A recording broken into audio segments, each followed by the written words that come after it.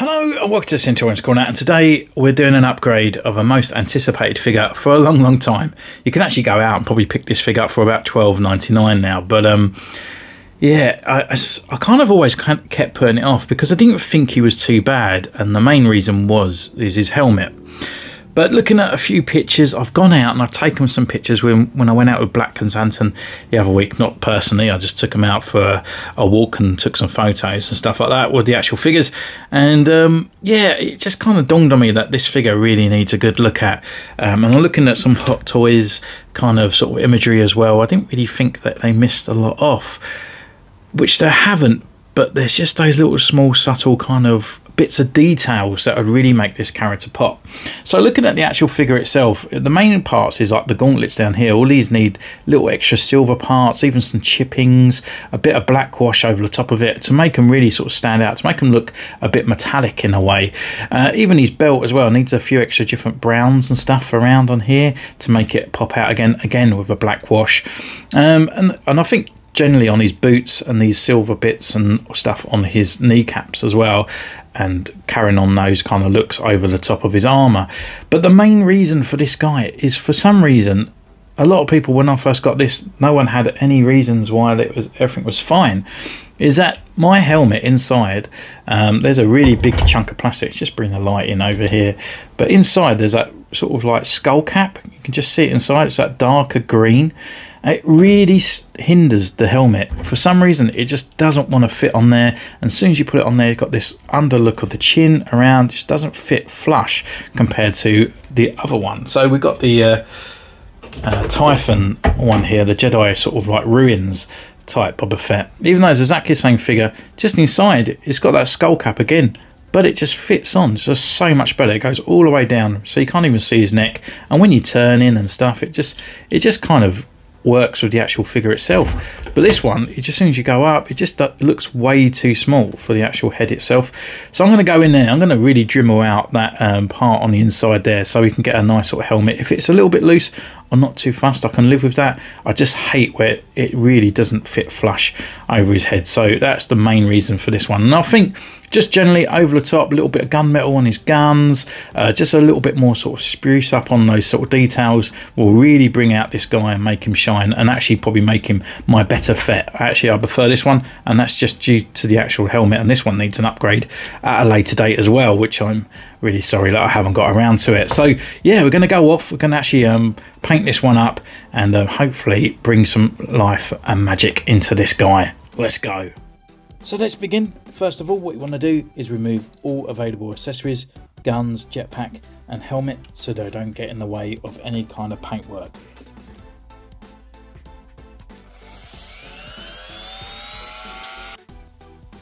So with using the Dremel here, you can actually buy these from any kind of hobbycraft places or maybe even DIY. And what you want to do is just get that kind of little bit on the top there, just put on the lowest speed possible and then going to slowly, slowly sand it down. Now I took a few attempts here, inside there's a big bit of plastic. I was kind of hoping just to sand it down just slightly and it would just fit over the figure. Uh, the more I kept attempting, in the end I just completely sanded it down. Just be careful not to push too far down because obviously you can sand through the helmet. So just be very careful. Lots of regular checks lots of regular checks to putting it on the head as well and then going back and forth and kind of blow out the access as well so you can actually see what you've dremeled off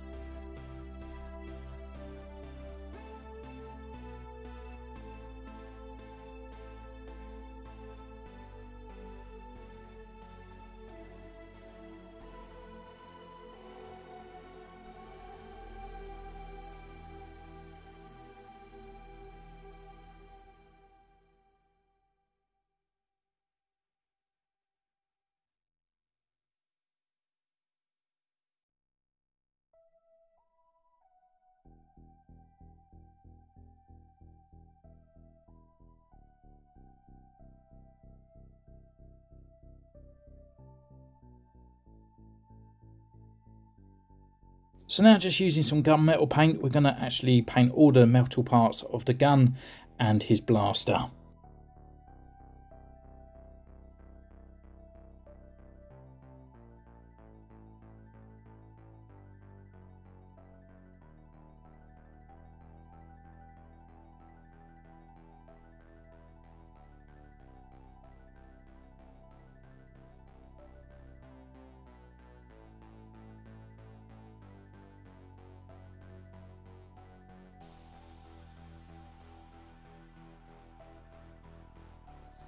Next part of the paint you want to use is your chrome, so your nice silver paint there. I was using the Hot Toys as reference, uh, just applying those extra little chippings over the actual gauntlets itself.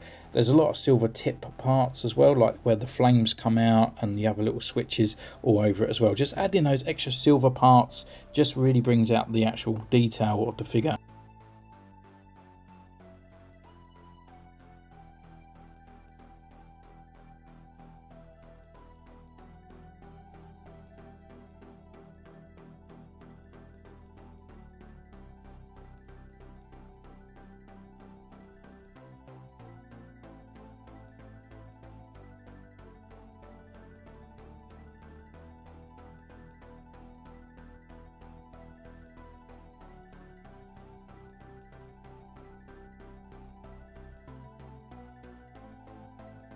Keep referring back to your pictures for reference, uh, and there's a lot of bit of black as well that's missing on the actual gauntlet as well.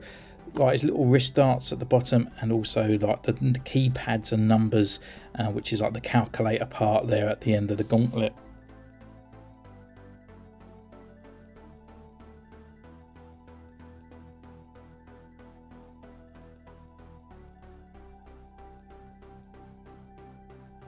So carrying on with more silver, I actually silvered off the sort of like darts on his knees. I added a few more bits extra as well, so a little bit, a couple of scuffs and marks. I didn't want to do over excessive because he's not the Empire Strikes Boba Fett, he's the repaint Boba Fett.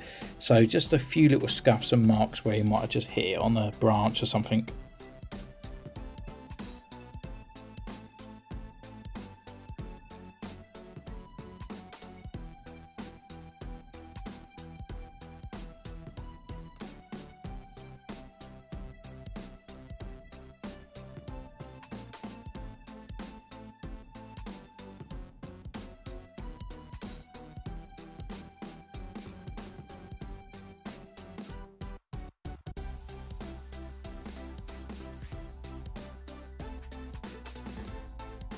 Still carrying on with the silver, just added some extra chippings on his shoulder pads and over the front part of his breastplate as well.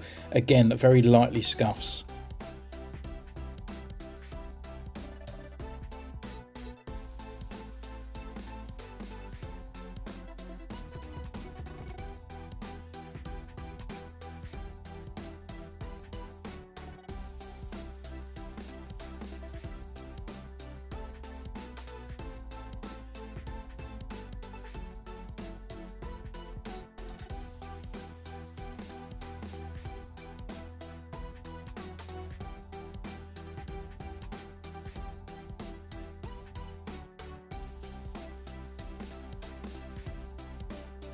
So now just adding some silver to his gauntlets, now they're dry. Again, keeping it minimalistic, uh, just don't over exaggerate the silvers and stuff on there. Just a couple more scuffs on those little high end corners where potentially it could have been knocked.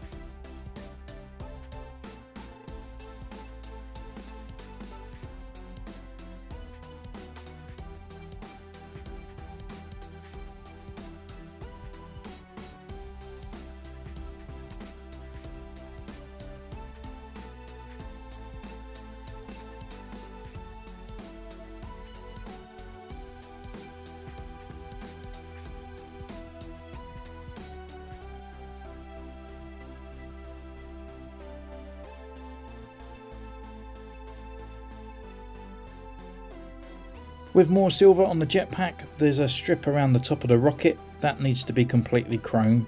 Uh, and then carrying on with the chrome as well, just adding those extra scuffs on those high ridges of the actual jetpack. And um, yeah, just sort of like just doing what you feel is best.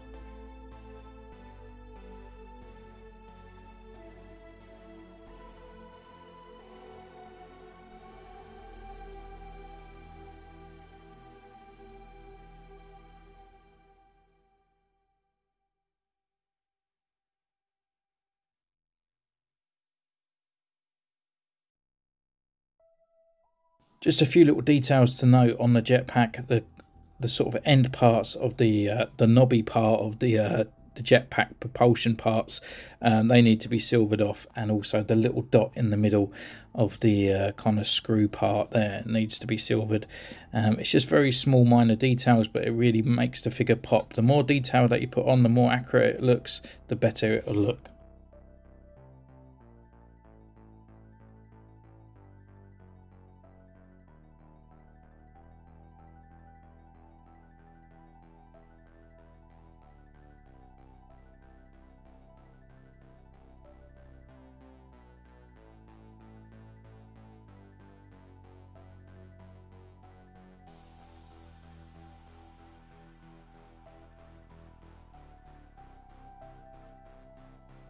So using red brown on his belt here, that's the one that's holding the pouches on. It just gives it a little bit more detail with a sort of different leather look, uh, or just a different brown around his waist, uh, so it doesn't all bleed into one, uh, just to give it that more weathered look.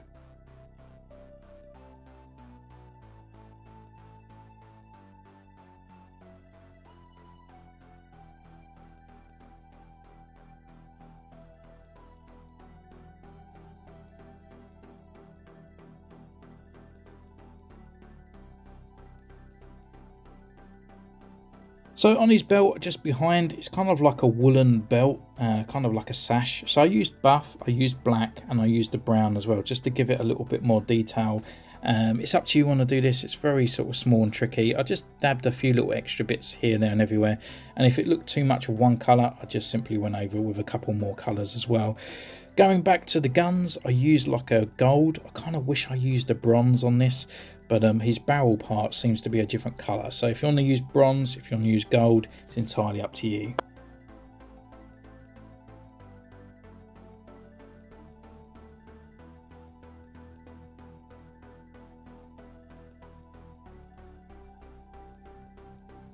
Using our red brown again, just using the grip uh, on his guns there, so it gives it a little bit of a different look.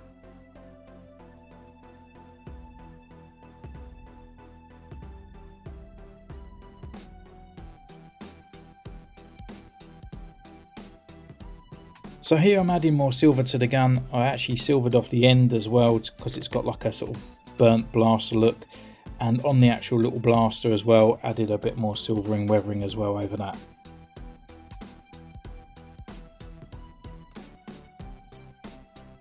So over the figure now, I'm adding sort of like a, uh, just a dry brush of black, uh, just to keep it sort of weathered in places I want to. Only a little bits over the armour. I don't want to sort of drench it completely in black. I just want little kind of burnt scuff marks where the silver edgings and stuff are.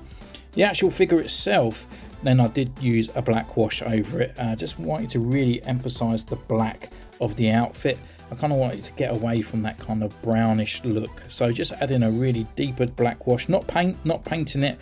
It looks like it at the moment because it is wet but it is a wash over the top of it. And I just let it dry uh, I really went over the boots as well because the boots really needed to come up a little bit more. They were a bit too light from the original figure so I just added a lot more to it.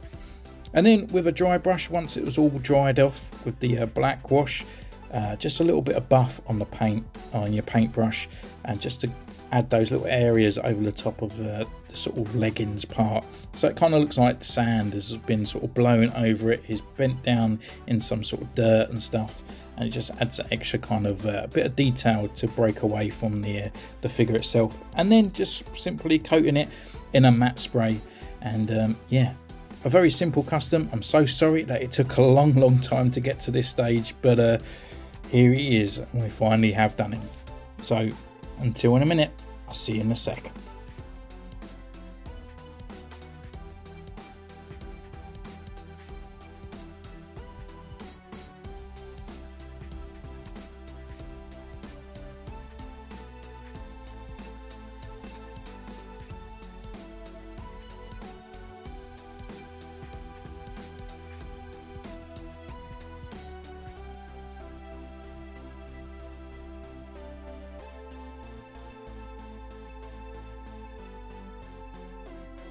So here he is, all finished and done and ready to join the others on the shelf. And I want to say a massive thank you if you actually uh, got this far in the video, that's for sure. But also if you hang out with me when I was doing this live video, I kind of wish I could sort of show you what I'm doing from a live camera view downwards, but I can't do a live while recording and stuff like that. Maybe I can, but I haven't got the uh, facilities at the moment in time. But um, yeah, thank you for hanging out because otherwise it's just me in the dark room, just kind of listening to a little bit of music.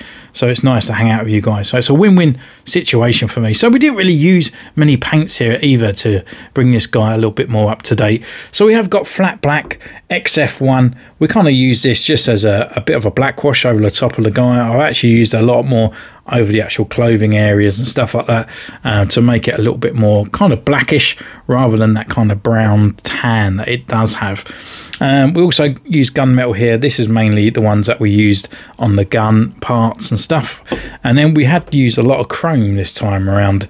Um, again on the guns and then a few extra kind of sort of like marks on his armor uh, a few little scrapes down here on his helmet and on his gauntlets where they got those extra silver parts as well that we needed to add. Again we used the uh, gold leaf x12 uh, again i kind of used these onto little areas around on the actual figure as well. Not using a hell of a lot on there but we did actually use it on the gun but i'm still not too sure. We'll look into that as we do it but i don't think it was supposed to be gold. I'm not too maybe i used the wrong colour. Maybe a lot of bronze would have done. Uh, we used XF64, which is red brown, uh, which is the extra kind of brown that we just added around here on his belt. And then we used buff as well. So buff is a really nice uh, kind of paint there. It's a bit like a sandy colour. Um, we used this around to give him a, a, little bit of sandy kind of weathering over the actual figure once the uh, black wash was dry. And a few extra bits on his belt that we go into some details. I have put the uh, the glue here because this guy it's his backpack. I can't stand it, so I have actually super glued it in place. Um, if you ever need a decent super glue to for your figures and stuff to hold things uh, that's never really going to fall off, this is a fantastic glue to be honest. And it's got such a little nice little nib on it that it's not going to sort of like bleed all over the figure. You just little dab it and then it's in place. And then the Tamiya colour, we're just going to put all this and we sprayed it all dumb down his sort of shininess, especially on his face as well, uh, and all over his armour. Uh, this is the TS80 uh, spray on here, uh, flat clear. So this is the best one to get that kind of matte feeling over the top. Uh, once all the paint's in place, you just spray this over and it'll keep it without going chipped. So yeah, looking at the actual Boba Fett figure, it's looking really nice now. Kind of, I'm actually enjoying this figure a lot more. Uh, let's just get the lights around here so we can uh, get a little bit more detail on this guy. So with the helmet here, this was the main problem, that, as I said at the beginning of the video, it was just like, it just wouldn't sit down. It would just kind of sit about there. There's a big chunk of plastic inside there. So I actually went away and we dremeled all that kind of colouring out there. So if I can get it in there, all that sort of big massive blob of plastic. I was kind of hoping to like just Dremel it a little bit. I weren't, my thing wasn't to remove it all but and I thought oh, I'd just be a little little notch at the front here maybe a little notch on the side that I need to trim all off and it was going to fit. But no it didn't. It literally needed the whole thing taken out. So that's what I've done. And with that it just fits right over the helmet or head of the figure. And it doesn't you know it, it's a little bit looser but it's it's not drastically that bad to be honest. And it can completely rotate move around with it all on there. And it covers all his whole chin all the way down as well so it's looking a lot better. And with that helmet as well we added a little bit more silver on there. You can see it hitting the light. A little bit more silver blemish around here on this side. We silvered this ear off as well just to give it a little bit more detail and a bit more silvering around on the back there. Just not too much because I want still wanted him to be like a, a full kind of Boba Fett repaint but where he's just kind of walked out a little bit. We've added that extra little black little mark there as well on the yellow uh, just to bring in that little bit more detail but um yeah it's not looking too bad. The rest of the armour down here, we've got those extra more silvers around on it. A little bit of a black wash over the top of it. Well, more of a dry brush over the top as I explained. Uh, around on this side as well. We've got a little bit more silverage coming around on these bits. The gauntlets are the bits that are really kind of missing out. So we use the little black just to colour in those little buttons on there. More silvering down here, silver on these little buttons and silver on the edges here and silver on these sort of flamethrower marker parts as well uh, just to give it a little bit more kind of metallic look, a bit more used. And then you got the silver edges around on the inside as well. On the belt, we've used that extra brown just to sort of like give it that extra kind of uh, differential kind of colouring there on these sort of like pockets and pouches. Um, and even on here, there's sort of like a wall, kind of like a, a bit like a, a Wookie braid, I guess. It goes like tanned colour, brown colour, and black. And I just kind of like dabbed just random colours around on it just to give him a little bit of that kind of look there. It works better when it's on the shelf from afar. And then using that buff as well, we've gone over those corners of those pockets to add a little bit of weathering on there. And um, yeah, on his gun, uh, I think it could have been a little bit better. I think my gunmetal's kind of gone a little bit crazy. Uh, I used the black, uh, the gold over the top with the silver on the end here. Um, I do feel like maybe it was a little bit too gold. I think maybe like a rosy kind of uh, rusty kind of bronze might have looked a little bit better. Uh, so I actually went over it with a bit more gunmetal and a bit more kind of black wash as well, just to drum it down on that gold parts. But it does sort of give off that kind of vibe. And I kind of like it that it kind of sort of goes with his other little gold accessories that he has as well. Uh, so we gave him a little bit of a brown down here, silver on all these little buttons and extra parts around on the gun as well. And as I said, we've silvered on the end. Taking this gun off, uh, we can have a look at this gauntlet as well. You can see all the extra silvers and stuff that we have added on there as well. And down on the legs, we added more of that sort of black wash over the top of it. I just wanted to really drum it down from that black. For some reason, it always, to me, kind of, as soon as the light hit it, it's kind of like a blacky brown. Um, but yeah, so all that over the top of it with a bit of buff. On his knee pads down here, we've added silvers and silvered off his sort of like uh, knee darts as well on this side. Same on this side as well. And then I gave it a really heavy black wash over his boots because they were a little bit too grey for me um, and they just needed a bit more weathering on there as well. And around on the back, we just added more kind of silvering, more kind of scruffs and stuff. Silvered off this top part as well to coincide with the actual uh, backpack. And these little bits on the inside, just silvered inside on those buttons and um, a little bit of kind of usage around on these sides and silvering off the, these parts as well. They're the main sort of details. The rest is kind of like my own kind of design because he doesn't really have that many scratches. But um, yeah, I feel it right works. He's got his little sidearm as well, but we just kind of like gunmetal this one. Just pull it out. Uh, a little bit of silver on there as well, just to give it a little bit more realism uh, inside there. So uh, yeah, I think he's working. Uh, we take this bit out as well, and uh, we've done a matte spray over his head as well. So um, haven't added any extra paint to his face there. Um, so it's just a matte paint on there, not look at him so so sweaty the matte spray, sorry, not the uh, thing on that. So, uh, yeah, he's looking a lot better, and now he's definitely one of my favourite Fetts because, as I said before, um, just due to that helmet and the way he was kind of like wearing it and stuff, it was just kind of kind of doing my head in there a little bit. But yeah, so the next one we've got to do is the uh, Tython one. So I'll be looking forward to this. And there's a few more modifications for this one.